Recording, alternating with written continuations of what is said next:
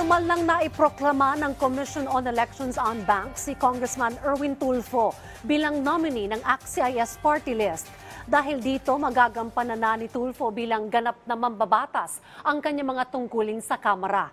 Pinasalamatan ng mambabatas sa mga sumuporta sa kanya, pati na rin ang mga naghain ng petisyon na kumwestiyon sa kanyang citizenship.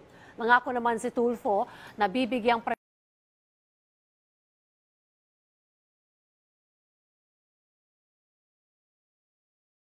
manunumpa ang kongresista at magsisimula na ring makadalo sa mga sesyon sa Kamara. No, totally.